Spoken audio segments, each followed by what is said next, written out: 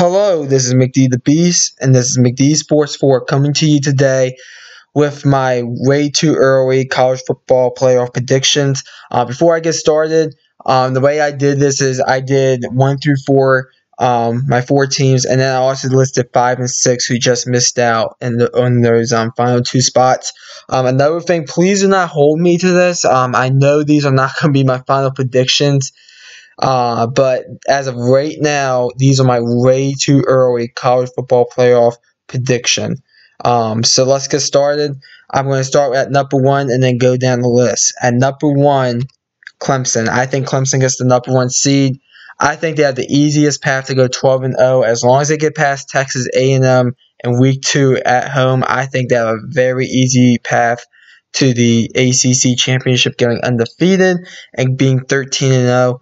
I think they'll be the only undefeated team in college football by that time at this time, and I think that um, they'll get the number one seed because they're undefeated.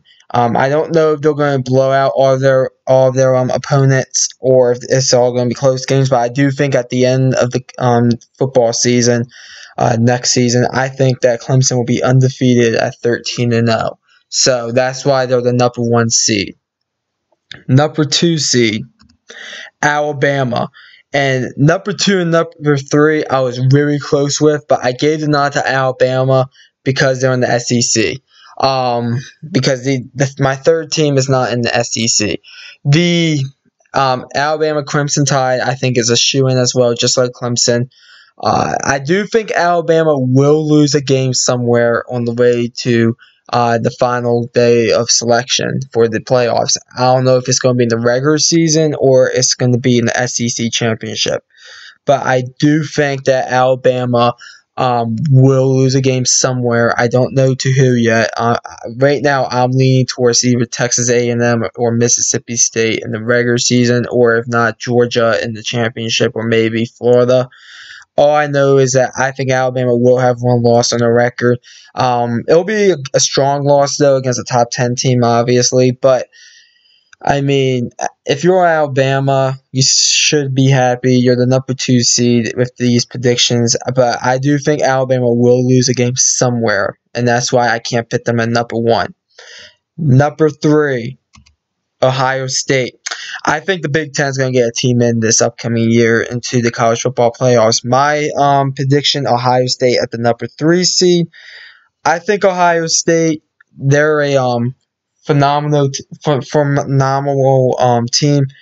Um, I I think they could really. I, I don't think they're going undefeated per se. Um, I already have the lost circle on who they're going to lose to this upcoming season. Northwestern on the road on a Friday night.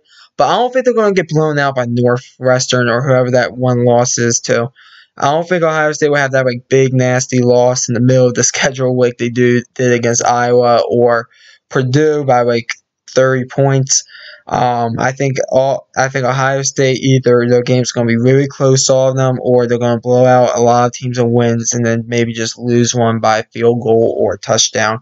And I think Ohio State's good enough. Um, to be any team in the um, Big Ten West in the championship and be a 12 and 1 team. And I think that's good enough to make the number three seed in the uh, college football playoffs. The only reason that Alabama gets the nod because they're in the SEC Bell Conference.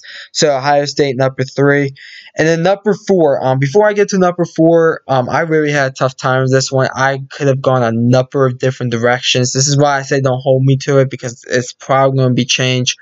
Um, I looked at um, several teams. I looked at, at I looked at the Pac-12, Oregon and Washington, and Washington State. I looked at the Big 12 with Oklahoma and, and Texas. I looked at the SEC with Florida, LSU, Georgia, even Missouri.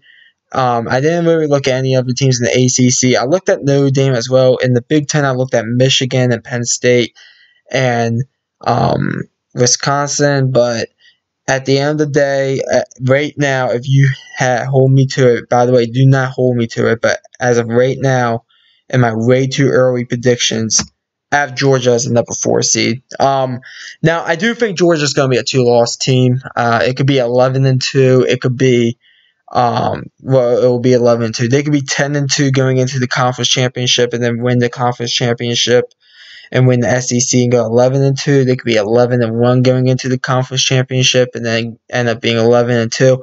I think Georgia, um, talent wise, is a top four team. That's kind of the difference. I think, um, I, personally, I think Georgia got robbed. Um, I think Georgia and Ohio State got robbed. I think those should have been the three and four seeds but especially Georgia. Georgia was a very talented team. They beat everybody on their schedule. They they had one loss against LSU. That was a top ten team.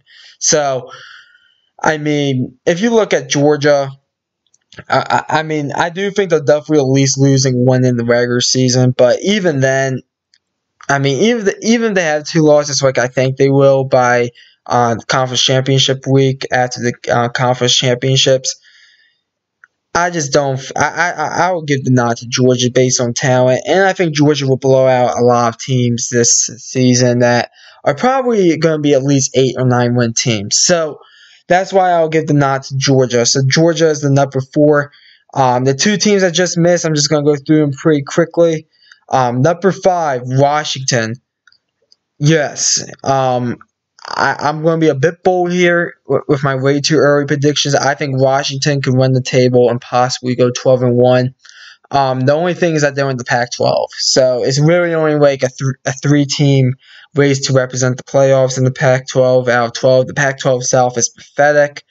Um, the Pac 12 North, even like Washington State uh, and Oregon, the other two teams, those teams aren't going to. I mean, put those two teams up against the SEC. Matter of fact, we're going to see week one Oregon versus Auburn, um, and we'll see what happens. Washington lost to Auburn last year, so.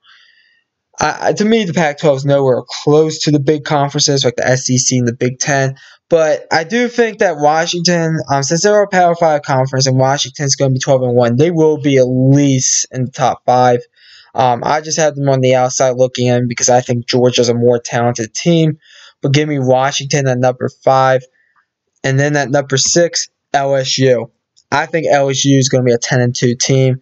And they're probably just going to miss the conference championship. But I mean, I hate to say that to LSU fans, but you're probably losing to Alabama and Tuscaloosa and you have a road game against Texas. You gotta go on the road against Mississippi State. Um, you get to go um, on the road, I think, as well against um, I want to say uh, Auburn. No, not Auburn. You go on the road against somebody as well, or is it um, is it no? I, I forget who. But you you go on the road for a few big games, and I, I mean, I you're losing Alabama, and I just think you're going to lose one of the other games that listed: Texas A&M, Mississippi State.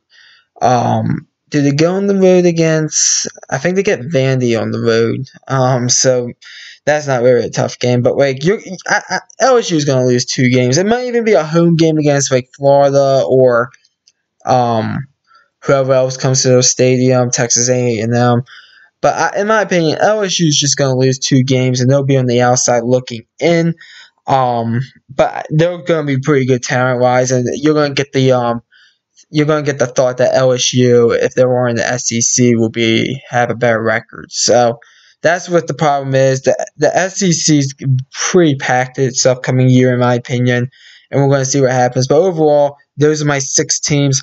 Um, why you're wondering, there's no Big 12 teams. Uh, the Big 12 is going to be weak next year, um, next season. I just feel like the Big 12 is going to be weak. Oklahoma may even be, um, well, if Oklahoma's undefeated, I think you should put them in. But, like, Oklahoma's going to have a loss somewhere. Um, you look at Texas, they'll at least have two or three losses. West Virginia is losing a lot of talent. Iowa State, um, you can't trust them to go above 10 and 2, in my opinion. Other teams in the Big 12, Oklahoma State eight and four, nine and three. But so if you look at the Big Twelve, I mean they have some decent teams, but like they're, they're not going to compete um, with the SEC this upcoming year. Um, if you look at other teams, the ACC, um, your second best team in the ACC might be Miami. So I don't know. We'll see what happens. Michigan, another team that just got left out. I, just feel like Michigan is just going to be looked at, and they're going to have like two or three losses on their schedule. And it's just going to be like, and the John and the um, Jim Harbaugh chance and um, speculation that he should be fired is going to keep on rising.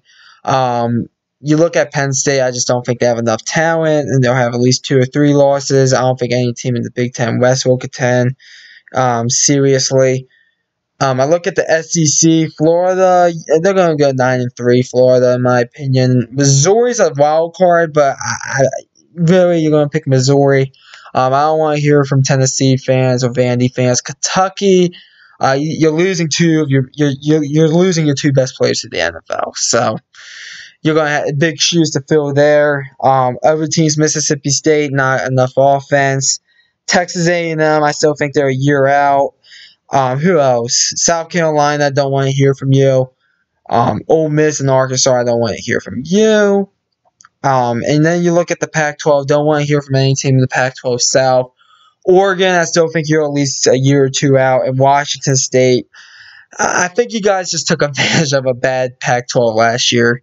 Um, but you guys will still be have a good team. But, anyways, and, and UCF fans, UCF, um, sorry, you're a group of five team. I think you're going to have one loss this year somewhere. Um, look at your schedule. It's a tough schedule. You get like Stanford, Pitt, North Carolina. You get Temple on the road. Um, you get Cincinnati on the road, I believe, as well. So definitely a tough schedule there. You're probably going to lose one if you're UCF, um, especially if no McKenzie Milton, your best player. And then Notre Dame. Uh, Notre Dame's at least going to lose two or three games, in my opinion. So that's what I'm looking at right now. So Clemson one, Alabama 2, Ohio State 3, Georgia 4, and then just missing out Washington 5 and LSU 6. Those are my predictions. Comment down below about my way too early college football playoff predictions. Um, tell me what you think. Also, please like and subscribe. Um, more likes, more subscribers, more fun we can have on the channel. Thanks for watching, and this is McD the Beast signing off.